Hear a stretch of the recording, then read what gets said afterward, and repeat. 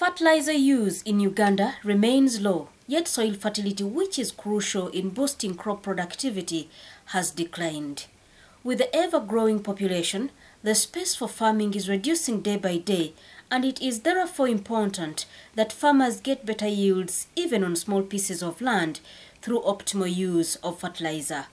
This explains why CABI, National Agricultural Research Organization NARO, and University of Nebraska with support from AGRA developed a fertilizer optimization tool to help farmers get return on investing in fertilizer. Because of the fact that our soils, our farmers are not using fertilizers because they're saying that they're expensive. By fertilizer I mean organic or inorganic materials. So we came up with a tool to address the, the, the challenge of high cost of fertilizers.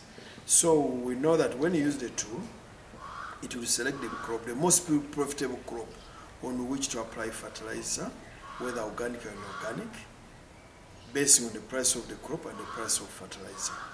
Why fertilizers, whether organic or inorganic, is because farmers have not been using fertilizers, and as a result of that, our soils are now very poor. They don't have nutrients. And so when the soil doesn't have nutrients, it means that farmers are going to get low yield. So to increase production, we need product, production, productivity enhancing technologies. Farmers should use good seeds and apply fertilizers to boost the production.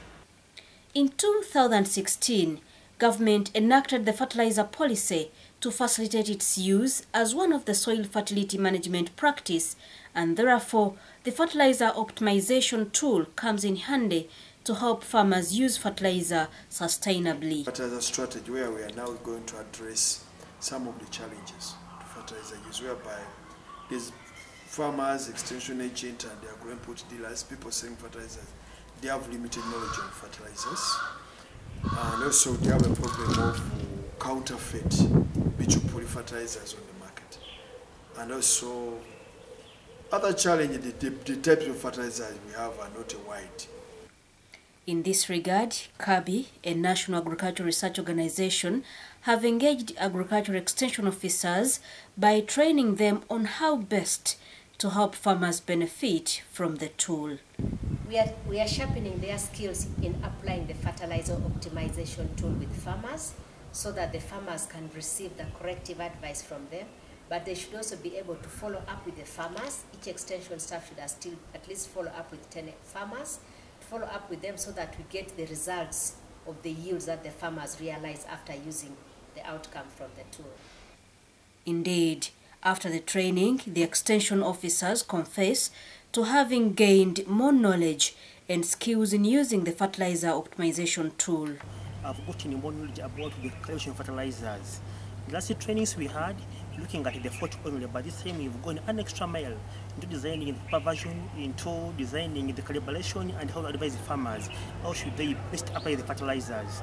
Based on the results we got from last season, the plot of a quarter acre where we applied the DAP and the nitrogen, and having considered all the agronomical practices, we planted two and a half kilograms and a quarter acre we got 345 kilograms.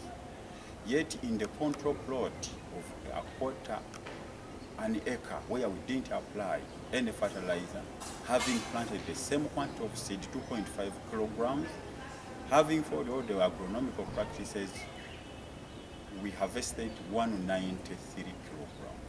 This implies that these officers will now give adequate information and knowledge to farmers about fertilizer use it is going to help my farmers not to waste money. Wasting money as in buying in excess of what they should buy. Because if the fort tells you you're supposed to apply, let's say, 12 or 20 kilograms of DAP on maize, what we know usually, the farmers will go and buy a whole sack, let's say it is 50 kilograms, and they will bring the whole of it to and, and apply it in whichever amount they, they, they want. So this tool is telling me you're going to apply, let's say, 20. So even after that, I, there is another tool also called the calibration tool that is going to help me know how much of that DAP am I going to use and in which kind of container that is readily available to the person. So that is one of the things. And also, this tool is going to help the extension workers, the agriculturists, to tell the, the farmers exactly what they are supposed to, to use, to put in as a fertilizers. Because farmers, have, there have been a situation where farmers have been going and buy a whole sack of DAP or urea and use it maybe in a less than an acre. But this tool is going, this tool it tells you that in such an acre you are supposed to use this amount of kilograms at this rate. It is crucial that such technologies that can help farmers improve on crop production are promoted since agriculture is the backbone of Uganda's economy.